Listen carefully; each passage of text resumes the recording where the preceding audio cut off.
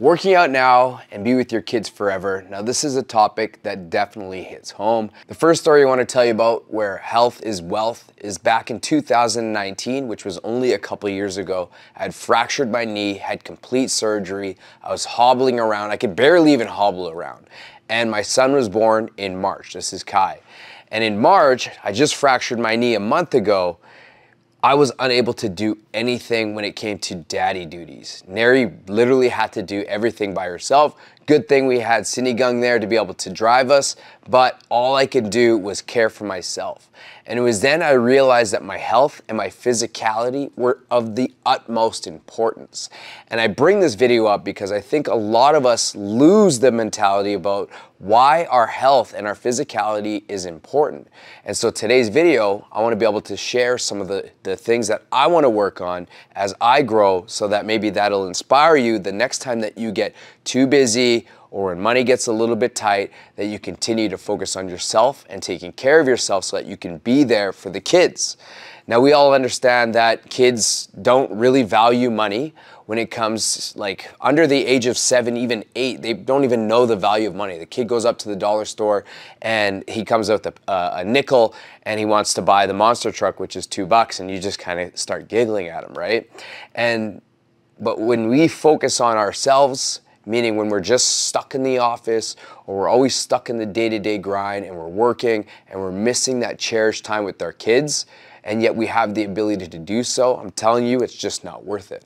And so one of my life's aging goals is to be able to continue to be a beast that I am today as my kids become a beast on their own. In fact, as soon as they understand the concept of money, I'm gonna offer them each 500 bucks to race me from the stop sign to our house. And every year on my birthday, they gotta try and beat me. And if they do, it's gonna be 500 bucks in their bank accounts. And this is gonna do two things. Number one, it's gonna motivate them to continue to train hard as well, to beat daddy, to get 500 bucks. And then number two, is that it's gonna keep me in shape because I don't wanna give the money away and I don't ever wanna lose. I mean, if I lose, that's great, but it's gonna take many years for these guys to be able to beat me. So, as such, this is the in season right now. So, if you've got young kids like I do, we have to treat this like preseason training. Now, the difference between us and professional athletes is that professional athletes have a guaranteed time that they're going to play.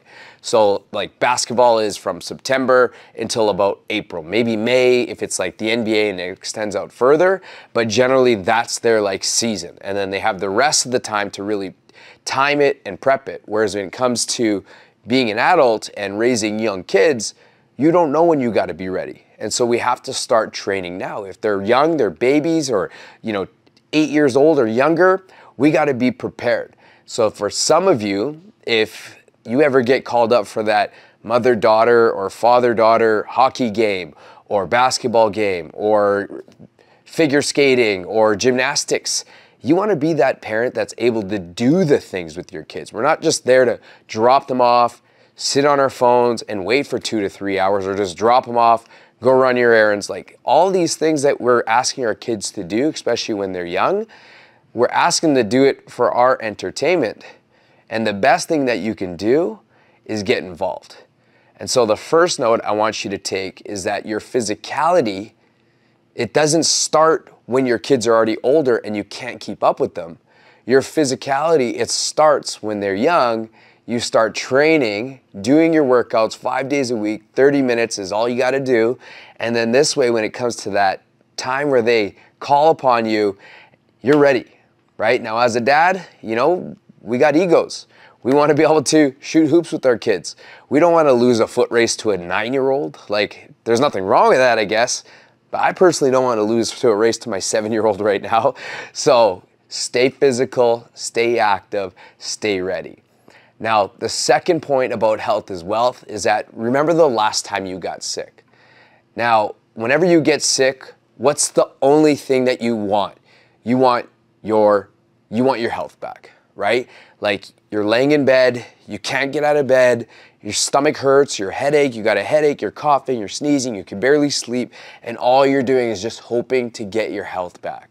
You just want to be normal. And so imagine now you're living your day slightly sick. Every day you're slightly sick. Well, that is like not taking care of yourself. Every day that you're not training your body, your body's not metabolizing yesterday's food. If you're not metabolizing yesterday's food, the body only stores it as fat. It's going to use some of that energy that you've consumed, but your body is storing fat. And as you add on more fat cells, you become heavier. As you get heavier, it gets harder to move. As it gets harder to move, you get more tired. And then the small activities look like large activities, and you just get lazy and tired, and it's a repeat cycle. And next thing you know, it's way too late.